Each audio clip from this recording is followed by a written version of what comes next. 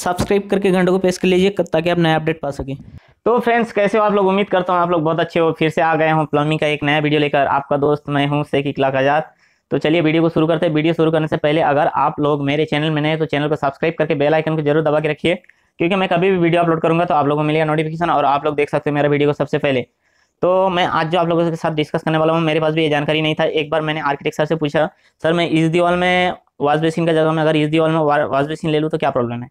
तो सर ने मेरे को पूरा डिटेल में बताए थे जो ड्राई जोन एरिया और वेट जोन एरिया, बाथरूम का अलग अलग होता है। वेट जोन यानी कि गीला एरिया, वहाँ पे सवार आता है और ड्राई जोन यानी कि सूखा एरिया, वहाँ पे वाश बेसिन और W C wall hung W C आता है। तो वालंग डब्ल्यू सी या कोई भी जो टब, कोमोट, पेन, जो भी आता है, वो ड्राई जोन एरिया में आता है। तो चलिए मैं इसी बारे में आप लोगों के साथ में डिस्कस करने वाला हूँ। तो वीडियो में आप लोग एंड तक बने रहिए और वीडियो में लाइक ज़रूर करना। वीडियो लाइक करते हो कमेंट करते हो, ऐसा लगता है मेरा मेहनत का फल मिल गया है। यार वीडियो बनाने में बहुत मेहनत लगता है। तो चलिए मैं वीडियो को शुरू करता हूँ। ये रहा प्लान मैं आपको एक स्पेशल चीज़ बताने वाला हूँ तो आप लोग को समझ में आ जाएगा बाथरूम में क्या करना चाहिए, क्या नहीं करना चाहिए ब्लॉक बाथरूम का प्लान है। तो मैं आप लोगों को इससे ही समझाता हूँ। यहाँ पे एंट्रेंस में दिया हुआ है एंट्री में। यहाँ पे वॉश बेसिंग दिया हुआ है, यहाँ पे टॉयलेट यहाँ पे टॉयलेट यहाँ पे टॉयलेट यहाँ पे टॉयलेट और यहाँ पे शावर एरिया यहाँ पे शावर एरिया तो मैं आप लोगों को इसके बारे में बताने वाला हूँ। शावर एरिया और डब्ल्यू सी वॉश बेसिन जो एरिया वो अलग अलग होना चाहिए। ड्राई जोन और वेट जोन हमेशा ये ध्यान में रखना है। मैं ये आर्किटेक्ट के पास से मेरे को आइडिया आया आर्किटेक्ट ने बोला था एक बार, जो यहाँ पे अगर कॉमोट होता है तो बीच में सावर एरिया और साइड में बेसिन नहीं होगा। तो क्या है, उससे क्या होता है, अगर सावर एरिया में से पानी होता है, पानी गिरता है तो आपका डब्ल्यू सी एरिया भी गीला रहेगा और वाश बेसिन एरिया भी गीला रहे, गीला रहेगा। अगर आप लोग ये डब्ल्यू सी और वाश बेसिन को अलग करते हो और सावर एरिया को अलग करते हो तो अच्छा रहेगा। उसमें से आपको एक तरफ़ वेट जोन मिल जाएगा और एक तरफ़ ड्राई जोन मिल जाएगा। तो यहाँ से इसके बारे में मैं आप लोग को पूरा डिटेल बताने वाला हूँ। तो आप लोग वीडियो में एंड तक बने रहिए और वीडियो को देखिए। बाथरूम के अंदर ड्राई जोन और वेट जोन यानी कि सूखा और गीला एरिया तो सूखा एरिया में वाश बेसिन और डब्ल्यू सी आएगा और गीला एरिया में जो है वो सवार आएगा यानी कि ड्राई ड्राई जोन और वेट जोन अगर आपका बाथरूम ऐसा है मैं आप लोगों को दिखा देता हूँ। यहाँ पे से गेट दिया होता है। अगर आपका बाथरूम यहाँ पे से गेट दिया होता है तो मैं आप लोग बता देता हूँ कैसे काम कर यहाँ पे आप लोग सावर एरिया दे दिए हो, फिर यहाँ पे आप बेसिन मतलब के आप लोगों को प्रॉब्लम होगा, क्या प्रॉब्लम होगा, मैं आप लोगों को बता देता हूँ। अगर आप लोगों का सावर एरिया चालू रहेगा तो आप लोगों को दोनों साइड गीला गीला रहेगा। यहाँ पे जो डब्ल्यू सी का एरिया है, वो भी एरिया गीला रहेगा और ये वाश बेसिन का जो एरिया है, ये भी एरिया गीला रहेगा और सावर का एरिया मतलब कि बाथरूम खराब लगेगा ऐसा कर दिया दोस्तों, आप लोग देख सकते हो, एक गलत जोनिंग है, दो ड्राई एरिया के बीच में एक वेट एरिया यानी कि दो सूखा एरिया के बीच में एक गीला एरिया एक गलत जोनिंग है। अगर आप लोग इसको चेंज करके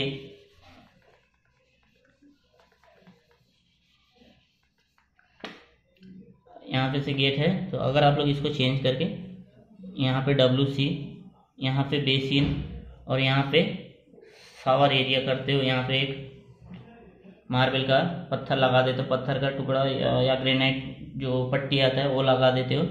तो आप लोगों का एरिया अलग हो गया एरिया अलग हो गया। आप लोग बाद में इसमें यूज़ कर सकते हो। मैं आप लोग बता देता हूँ, सावर कटन आता है, सावर कटन यूज़ कर सकते हो ग्लास भी यूज़ कर सकते हो इसमें। अगर नहीं भी करना है तो यहाँ पे एक मार्बल का पट्टी लगा देना है। तो मार्बल का पट्टी लगा देते हो ये एरिया अलग हो जाएगा, यहाँ पे इसका पानी जाएगा। और ये एरिया यहाँ पे इसका पानी जाएगा, ये वाश बेसिन और कॉमोट एरिया जो हमेशा सूखा एरिया होना चाहिए। तो ये ड्राई जोन है। ये ड्राई जोन और ये वेट जोन मतलब कि ये गीला एरिया और ये सूखा एरिया ये आप लोगों को ध्यान में रखना है हमेशा से। अगर ये आप इससे क्या होता है दोस्तों पूरा बाथरूम में पानी नहीं फैलता है और जो हाइजीन पॉइंट ऑफ़ व्यू से बहुत ज़रूरी भी है। बाथरूम का जो डब्ल्यू सी और बेसिन का एरिया जो है वाश बेसिन का एरिया हमेशा से अलग होना चाहिए और शावर एरिया अलग होना चाहिए। अगर आप लोग ऐसा बीच बीच में कर देते हो यहाँ पे डब्ल्यू सी यहाँ पे शावर यहाँ पे वाश बेसिन तो आपका दोनों बाजू में गीला रहेगा खराब भी लगेगा। अच्छा काम नहीं होगा इसे। फ्रेंड्स मैं आप लोगों को बता दूँ, जहाँ पे आप लोगों का सावर एरिया अलग हो जाता है वेट जोन और ड्राई जोन अलग हो जाता है, वहाँ पे मार्बल का पट्टी लगता है। वहाँ से आप लोगों को टाइल जो है पौने इंच का डिफरेंस रखने का मिनिमम अप डाउन रखना है पौने इंच का। दोस्तों बाथरूम में जो सावर का एरिया होना चाहिए, वो मिनिमम तीन बाई तीन का होना चाहिए तो कंफर्टेबल रहेगा। चार बाई चार का होगा तो और भी अच्छा है। दोस्तों, मैं अभी आप लोगों को एक काम दिखा देता हूँ, वहाँ पे खाली मार्बल का पट्टी यूज़ हुआ है। वहाँ पे शॉवर कटन या ग्लास यूज़ नहीं हुआ, इसीलिए वो हॉस्पिटल का ब्लॉक बाथरूम है। तो अगर कोई पर्सनल यूज़ करना चाहे तो वहाँ पे, अगर जगह नहीं हो तो वहाँ पे जो शावर कटन आता है शावर कटन लगा सकते हो। अगर जगह है तो फिर ग्लास लगाओगे ग्लास लगा के बीच में एक गेट दे दोगे शावर का एरिया में तो और भी अच्छा रहेगा।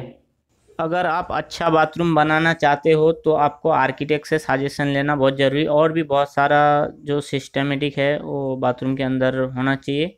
तो अगर आप लोगों को अच्छा बाथरूम बनाना है तो आप लोग आर्किटेक्ट से सजेशन ले सकते हो तो अच्छा रहेगा।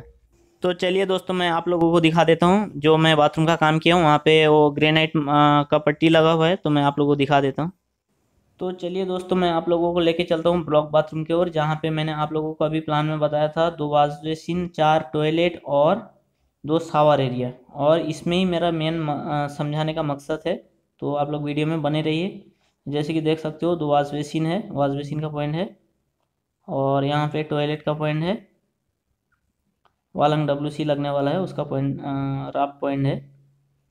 अभी फिनिशिंग बाकी है फिनिशिंग बहुत जल्दी होगा। मैं जैसे ही फिनिशिंग होगा तो मैं आप लोगों को अपडेट इसका बताऊँगा। मैं वीडियो इसका अपलोड करूँगा फिनिशिंग का, जो कैसे वालंग डब्ल्यू सी फिट होता है बेसिन कैसे फिट होता है, ये सब पूरा मैं डिटेल में आप लोगों को बताऊँगा।